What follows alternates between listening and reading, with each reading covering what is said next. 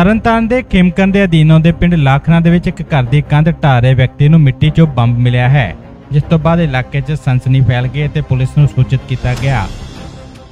ਪਿੰਡ ਲਾਖਣਾ ਦੇ ਵਿੱਚ ਬਾਬਾ ਜਾਰ ਪੀਰ ਦੇ ਨਜ਼ਦੀਕ ਪ੍ਰਗਟ ਸਿੰਘ ਪੁੱਤਰ ਡੋਗਰ ਸਿੰਘ ਆਪਣੇ ਘਰ ਦੀ ਕੰਧ ਢਾਹ ਰਿਹਾ ਸੀ ਕਿ ਇਸੇ ਦੌਰਾਨ ਹੀ ਉਸਨੂੰ ਇੱਕ ਬੰਬ ਮਿਲਿਆ, ਜਿਸ ਦੀ ਸੂਚਨਾ ਪੁਲਿਸ ਨੂੰ ਦਿੱਤੀ ਗਈ ਤੇ ਪੁਲਿਸ ਨੇ ਇੱਕ ਟੋਇਆ ਪੁੱਟ ਕੇ ਉਸ ਨੂੰ ਉਸ ਵਿੱਚ ਰੱਖ ਦਿੱਤਾ। ਮੌਕੇ ਤੇ ਪਹੁੰਚੇ ਪੁਲਿਸ ਮੁਲਾਜ਼ਮ ਨੇ ਕਿਹਾ ਹੈ ਕਿ ਮਾਮਲੇ ਦੀ ਜਾਂਚ ਕੀਤੀ ਜਾ ਰਹੀ ਹੈ ਤੇ ਇਸ ਦੀ ਸੂਚਨਾ ਬੰਬ ਨਿਰੋਧਕ ਦਸਤੇ ਨੂੰ ਭੇਜ ਦਿੱਤੀ ਗਈ ਹੈ।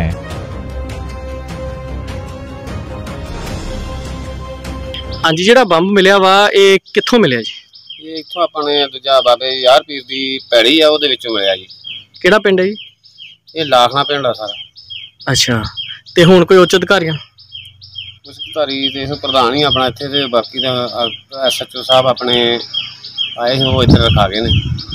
ਕੱਟਾ ਬਣਾ ਕੇ। ਅੱਛਾ ਹੁਣ ਹੋਰ ਵੀ ਕੋਈ ਟੀਮਾਂ ਬੁਲਾਈਆਂ ਜਾ ਰਹੀਆਂ? ਟੀਮਾਂ ਬੁਲਾਈਆਂ ਜਾ ਰਹੀਆਂ ਆਪਣੀਆਂ ਨੂੰ ਬੰਬ ਦਾ ਕਰਾਂਗੇ ਆਪਾਂ ਨਾਈਸਟ ਕਰਾਂਗੇ ਇਹਨੂੰ। ਕੀ ਨਾਮ ਹੈ ਤੁਹਾਡਾ ਜੀ ਤੇ ਕਿਹੜਾ ਪਿੰਡ ਆ? ਲਾਖਣਾ ਜੀ।